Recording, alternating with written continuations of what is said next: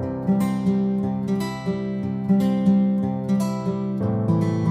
Everyone तपाईँहरूलाई फेरि पनि स्वागत छ हाम्रो च्यानल एजुकेसन फाइमा आज चाहिँ हामी केमिस्ट्रीको केमिकल इक्विलिब्रियम च्याप्टर गर्न जाँदैछौँ यसमा चाहिँ थ्योरी प्लस क्वेसनहरू एमसिक्यू क्वेसनहरू दुइटै छ। सो अब ढिला नगरिकन भिडियोतिर लागौँ।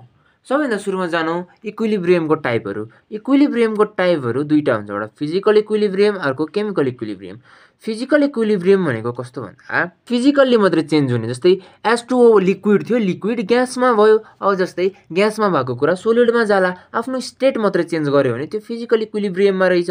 अनि केमिकल इक्विलिब्रियममा भनेको S two plus O two gas थियो त्यो एचआई भन्ने अर्को ग्यासमा गयो एउटै फेजमा गयो भने तर आफ्नो इन्टरनल केमिकल्सहरू चाहिँ चेन्ज गर्यो भने केमिकल इक्विलिब्रियम भयो। तर योबाट पनि यो दुइटा बनाउन मिल्न पऱ्यो अनि यो दुइटाबाट पनि यो बनाउन मिल्न पऱ्यो अब हेरौँ रियाक्सन्स रियाक्सन्स पनि दुई टाइपको हुन्छ। के के हुन्छ? एउटा इरिभर्सिबल रियाक्सन अर्को रिभर्सिबल रियाक्सन इरिभर्सिबल रियाक्सनको डिरेक्सन भनेको जहिले पनि रियाक्टेन्ट टु प्रोडक्ट हो अनि यसको भनेको reactant to product and product to reactant यो यसरी फरवर्ड पनि जान सक्छ अनि ब्याकवर्ड पनि आउन सक्छ दुइटै हुनसक्छ रिभर्सिबल भनेको। अनि जस्ट यसको इक्जाम्पल हेरौँ। यसको इक्जाम्पलमा decomposition decomposition of KCLO three two KCLO three चाहिँ डिकम्पोज भएर two KCL plus three O टूमा जाँदो रहेछ। तर अब यो two KCL plus three O टूलाई फेरि रियाक्ट गराएर हामीले टु केसिएलओ थ्री निकाल्न सक्दैनौँ। तर तर डिसोसिएसन अफ सिएस थ्री सिओएचमा सिएस थ्री सिओएचलाई सिएस थ्री सिओ माइनस र एच प्लस बनाउन मिल्छ। अनि फेरि यिनीहरू दुइटालाई रियाक्ट गरायो अथवा आयोनाइज गरायो भने चाहिँ यो बन्ने भयो यो बन्ने भयो। प्रोडक्ट साइडबाट रियाक्टेन्ट साइडमा पनि लान मिल्यो रियाक्टेन्ट साइडबाट प्रोडक्ट साइडमा पनि लान मिल्यो। अब इक्वेसन भनेको हामीसँग दुई किसिमको छ। के के छ? होमोजिनियस इक्वेसन र हेटेरोजिनियस इक्वेसन होमोजिनियस इक्वेसन हुनको लागि must be in same phase होइन? अनि हेटेरोजिनियस इक्वेसन हुनको लागि they are in more than one phase one gas मात्रै भएर पनि केही फरक पर्दैन। अनि सोलिड लिक्विड जे पनि हुन सक्यो। अब यसमा हेरौँ होमोजिनियस इक्वेसनको इक्जाम्पल हेर्दा S two plus I two gives to HI हुँदो रहेछ।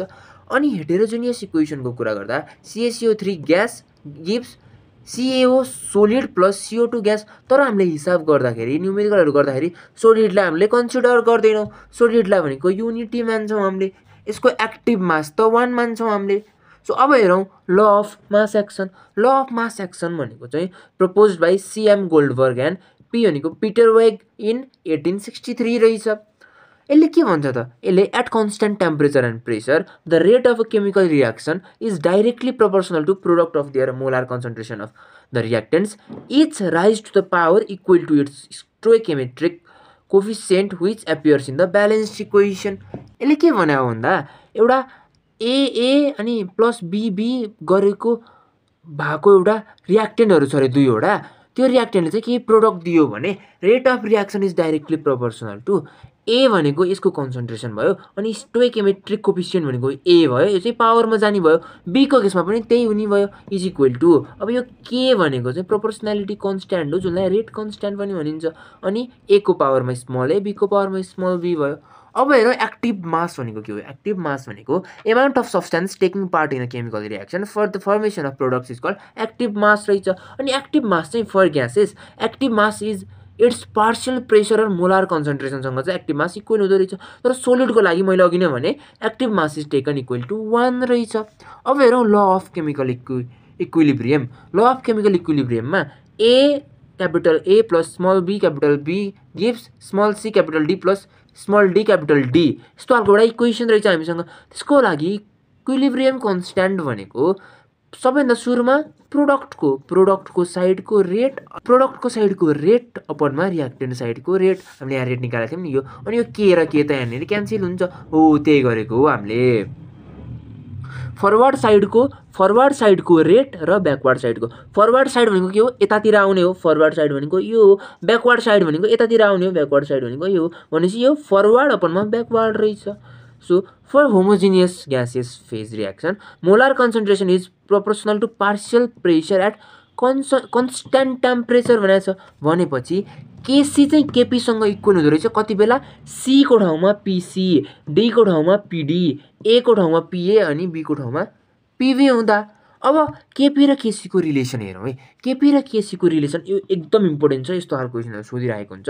KP is equal to KC आरटीको पावरमा ट्रायङ्गल एन रहेछ।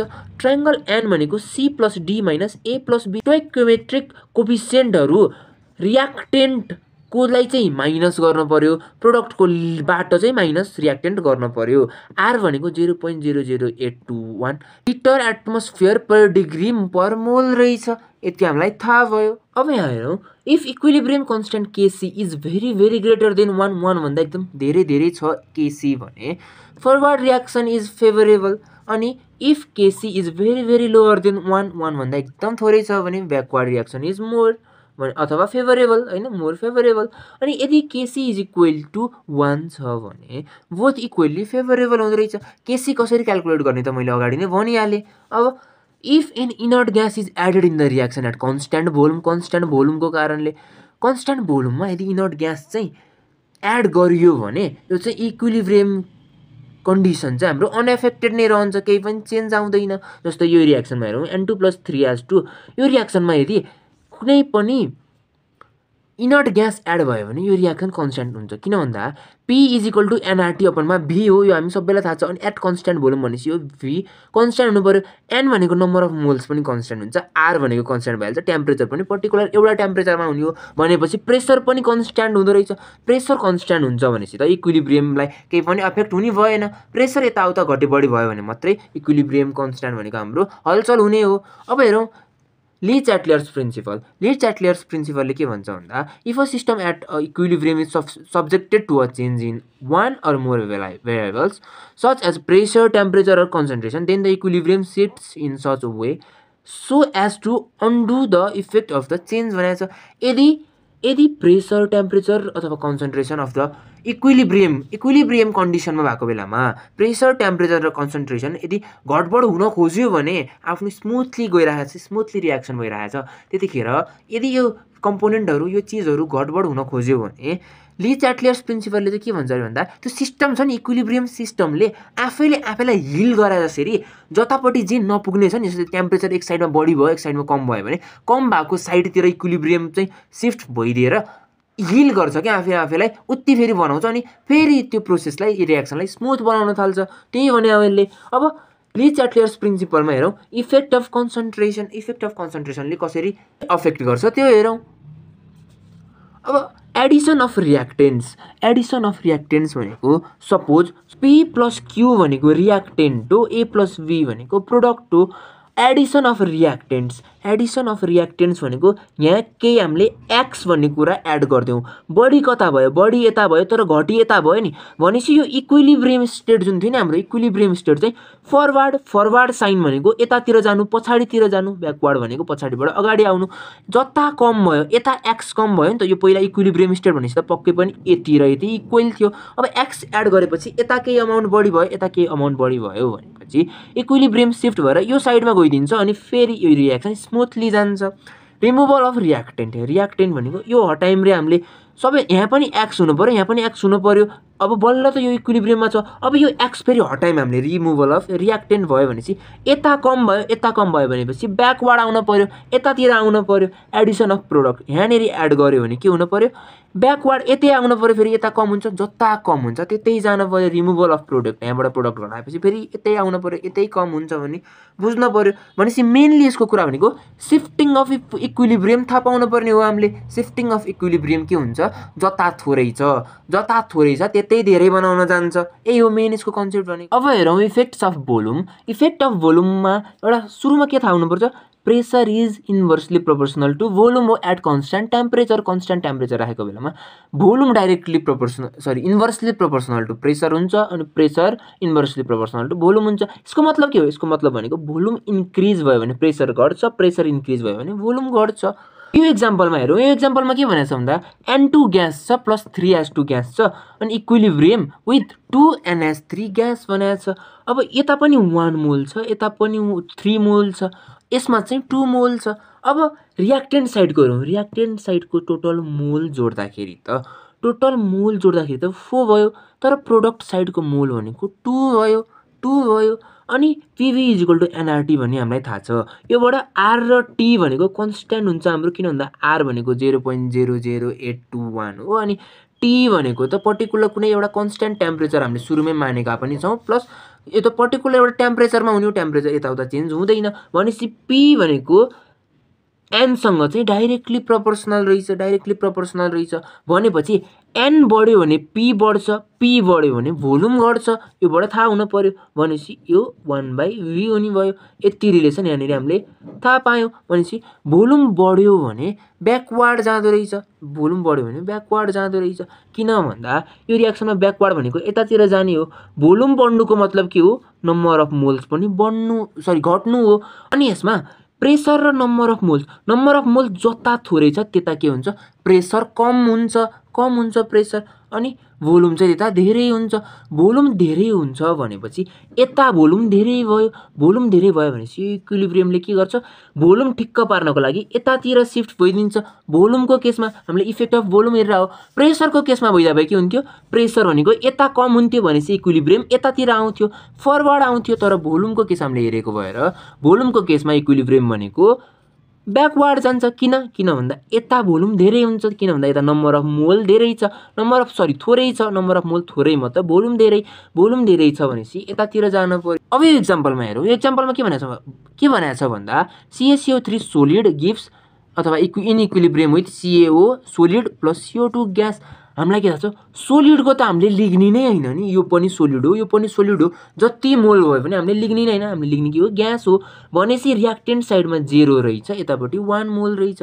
वान मोल रहेछ भनेपछि अब यता जेरो छ यता जेरो छ भोल्युम कताको बढी भयो? जतापट्टि एन थोरै छ त्यताको भोल्युम बढी भयो। भोल्युम यता बढी भयो भोल्युम यता बढी भयो भनेपछि भोल्युम यता कम छ। कम भएकोतिर जाने हो भनेपछि फरवार्ड जाने रहेछ। यता भनेको फरवार्ड हो। अब यसमा हेरौँ। यसमा एस टू जी यो ग्यास भयो प्लस आई टू यो पनि ग्यास भयो। अनि इनइक्विलिब्रियम विथ टु एचआई छ।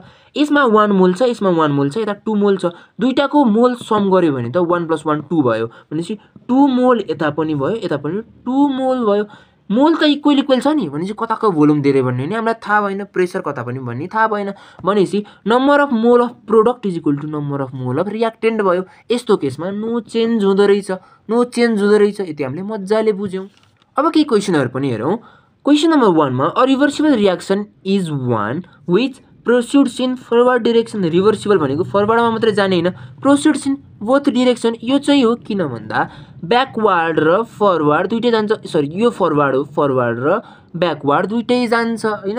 अनि theory of active mass indicates that the rate of a chemical reaction is directly proportional to concentration of reactants हो। कन्सन्ट्रेसन अफ रियाक्टेन्ट्स बढ्यो भने एक्टिभ मास पनि बढ्ने हो। अब क्वेसन नम्बर थ्रीमा हेरौँ। क्वेसन नम्बर थ्रीमा के भनेको छ भन्दा the state of equilibrium refers to dynamic state हो यो भनेको। स्टेट अफ रेस्ट पनि होइन। स्टेसनरी र रेस्ट भनेको उयो भइहाल्यो। इनर्टनेस पनि होइन। डाइनामिक हो यो त। अब क्वेसन नम्बर फोरमा हेरौँ। For the reaction A plus two B in equilibrium with C the expression for equilibrium constant is भनेको छ। हामीलाई के थाहा छ? हामीलाई के थाहा छ भन्दा माथि भनेको प्रोडक्ट हुनु पऱ्यो अथवा फरवार्ड हुनु पऱ्यो फरवार्ड अपनमा तल भनेको ब्याकवार्ड हुनु पऱ्यो फरवार्ड भनेको के हो? फरवार्ड भनेको यो हो प्रोडक्ट साइडको हो प्रोडक्ट साइड भनेपछि यो र यो त इलिमिनेट भइहाल्यो। यो र यो बाँकी भयो। अनि अब हेरौँ है त ए र ए उति छ अनि यहाँ टु बी भनेको छ यहाँनिर बीको स्क्वायर भनेको छ।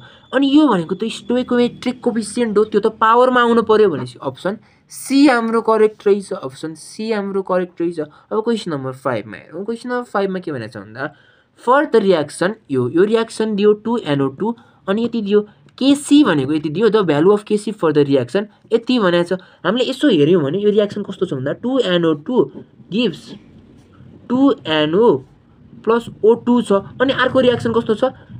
NO plus one by two O two gives NO two छ। यसो हेऱ्यौँ भने यो रियाक्सन भन्दा यो ठ्याक्कै हाफ छ क्या। यहाँ एनओ टू छ यहाँ एनओ मात्रै छ यहाँ टु एनओ छ यहाँ एउटा मात्रै एनओ छ यहाँ ओ एउटा छ यहाँ हाफ ओ छ। भनेपछि यो रियाक्सनको हाफ यो रहेछ। तर यो रियाक्सन भन्दा यो ठ्याक्कै उल्टो पनि छ। यसको यसमा भएको रियाक्टेन्ट यसमा प्रोडक्ट छ भने यसमा भएको प्रोडक्टहरू यसमा रियाक्टेन्ट छ। भनेपछि के ड्यास के ड्यास भनेको चाहिँ यो इक्वेसन यति इक्वेसन यो तलको इक्वेसनको रेट हो भन्ने मानौँ। के भ्यालु हो भन्ने मानौँ के सी भ्यालु हो भन्ने मानौँ इज इक्वल टु वान अपनमा वान अपनमा माथिको माथिको के हुने भयो के हुने भयो किन भन्दा यो ठ्याक्क उल्टो भएको भएर क्या A plus B gives B plus C छ भने अनि अर्को इक्वेसनमा चाहिँ C plus B gives B plus A छ भने जस्ट भेराइबलहरू हो बी र बी सेम भएर पनि केही फरक पर्दैन। इक्जाम्पल मात्र लिएको हामीले। छ भने यसको रेट कन्सट्यान्ट के छ भने यसको रेट कन्सट्यान्ट के हुनु पऱ्यो? वान अपनमा के हुनु पऱ्यो क्या? उल्टो छ भने वान अपनमा के भयो? अनि अनि वान बाई टूले चाहिँ के गरेको छ? वान बाई टूले चाहिँ यसलाई डिभाइड गरेको छ भनेपछि होल टोटलको पावरमा वान बाई टू आउँछ क्या? वान बाई टू आउँछ। यो वान बाई टू आउँछ भनेपछि हामीले वान अपनमा के कति छ हाम्रो? वान पोइन्ट एट इन्टु टेनको पावर माइनस सिक्सको पावरमा वान बाई टू गरिदिउँ। यो भनेको सेभेन पोइन्ट फाइभ इन्टु टेनको पावर टू आउँदो रहेछ। Seven seven point five into टेनको पावर टू आउँदो रहेछ हाम्रो एन्सर यति एन्सर भयो यति हामीले बुझिहाल्यौँ। मेन बुझ्नुपर्ने भनेको वान बाई टूले डिभाइड भएको छ त्यही भएर पावरमा वान बाई टू जान्छ। अनि यो इक्वेसन उल्टेको छ त्यही भएर वान बाई के हुन्छ? यति बुझ्यो भने भइहाल्यो यो क्वेसनमा हेरौँ the equilibrium constant for synthesis of HI at four hundred ninety degree is fifty भनेको छ the value of K for dissociation of HI will be भनेको छ सेन्थेसिस अफ एचआई भनेको एचआई बनाउनको लागि बनाउनको लागि के थियो अरे? मतलब I two plus H two गरेर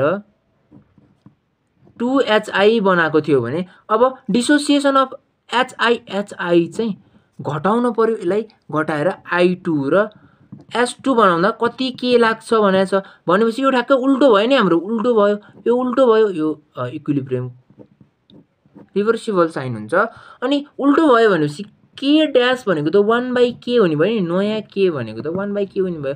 वान बाई फिफ्टी हो वान बाई फिफ्टी भनेको zero point zero two option A हाम्रो करेक्ट रहेछ। अब हेरौँ क्वेसन नम्बर सेभेनमा question number सेभेनमा for a reversible reaction. If the concentration of reactants are double at a definite temperature then equilibrium constant यो त remains same हो किन भन्दा इक्विलिब्रियम कन्सट्यान्ट रिभर्सिबल रियाक्सनको होस् या अरू रियाक्सनको होस् कन्सन्ट्रेसनमा भनेको कहिल्यै पनि डिपेन्ड गर्दैन रियाक्टेन्टको कन्सन्ट्रेसनमा डिपेन्ड गर्दैन भनेपछि रिमेन्स द सेम रहेछ। अब हेरौँ the relationship between KP and KC is correctly shown as भनेको यस्तो दिएको छ। अनि माइनस र माइनस त आउँदै आउँदैन यो हाम्रो गलत भइहाल्यो सुरुमै। अनि कम्प्युटरवाला भन्ने क्या? कम्प्युटर भनेको के हो? पिसी पिसी भनेपछि केपी इजक्वल टु केसी पिसी यसरी हामीले गर्न सक्यौँ। अब क्वेसन नम्बर नाइनमा इन द रिभर्सिबल रियाक्सन यति यति केपी इज भन्यो है। केपी इज भन्यो। हामीले केपी थाहा पाउनको लागि के गर्नुपर्छ भन्दा केपी भनेको ट्रायङ्गल एनले थाहा हुन्छ क्या हामीलाई? ट्रायङ्गल एनले थाहा हुन्छ। ट्रायङ्गल एन भनेको रियाक्टेन्टको मोल र प्रोडक्टको मोल हो ट्रायङ्गल एन भनेको। प्रोडक्टको मोल भनेको वान प्लस वान माइनस रियाक्टेन्टको मोल टू। यो जेरो आयो। जेरो आयो भनेपछि त के थाहा भयो हामीलाई यहाँनिर? ट्रायङ्गल एन भनेको जेरो हुँदो रहेछ अनि हाम्रो करेक्ट रिलेसन भनेको KP is equal to KC आरटीको power triangle N हो। अनि ट्रायङ्गल एनै जेरो छ भनेपछि आरटी पुरै वान हुने भयो। KP is equal to KC आयो भनेपछि KP is equal to KC हुँदो रहेछ। केसीसँग इक्वल हुँदो रहेछ। अप्सन सी भयो। अब क्वेसन नम्बर टेनमा हेरौँ। The active mass of ninety gram of CACO three is भनेको छ। मलिकुलर वेट दिएको छ। Ninety gram of CACO three CO CACO three भनेको सोलिड हो। सोलिडको एक्टिभ मास वान हो। हन्ड्रेड ग्राम भन्योस् थाउजन्ड ग्राम भन्नुहोस्। Zero point zero zero one gram भन्नुहोस्। जति भन्नुहोस्। एक्टिभ मास अफ सोलिड भनेको वान हो। अब हेरौँ question number इलेभेनमा for a reversible reaction the rate constant of forward and backward दियो। रेस्पेक्टिभली देन इक्विलिब्रियम कन्सट्यान्ट के इक्विलिब्रियम भनेको त फरवार्डको रियाक्सन अथवा रेट कन्सट्यान्ट अपनमा ब्याकवार्डको रेट कन्सट्यान्ट हो भनेपछि फरवार्डको भनेको यति ब्याकवार्डको यति two point three eight into टेनको power minus four अपनमा eight point one five into टेनको पावर माइनस फाइभ यति गर्दा टु पोइन्ट नाइन टू आउँदो रहेछ अप्सन बी हाम्रो। करेक्ट रहेछ। सो आजको लागि चाहिँ लगभग यति नै थियो क्वेसन आई होप तपाईँहरूलाई भिडियो मन पऱ्यो यदि यो भिडियो मन पऱ्यो भने भिडियोलाई लाइक गरिदिनु होला भिडियोमा कमेन्ट गर्नुहोला र यो भिडियोलाई आफ्नो साथीहरूसँग पनि सेयर गर्नुहोला हस् थ्याङ्क यू भेरी मच